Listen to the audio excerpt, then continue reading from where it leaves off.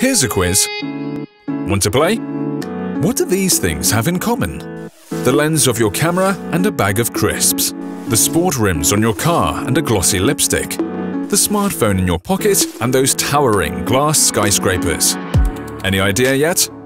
They all share a specific production process, from the dashboard in your car to the gold-framed spectacles on your nose. Thin film coating. That is the answer. It is used in manufacturing all these products. In fact, thin film technology has become an essential part of our everyday life.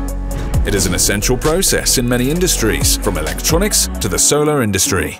It is used to coat the sapphire crystal dials of luxury watches and in all kinds of packaging.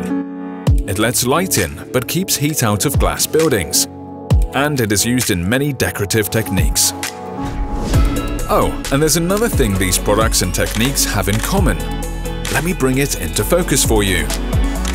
Edwards Vacuum. That's right, our vacuum technology is an essential part of thin film coating processes around the world. Edwards Vacuum Solutions help put the shine on your smartphone and on your face. They help package crisps and they contribute to making architectural glass. Edwards Vacuum is ready to drive thin film coating applications into the future.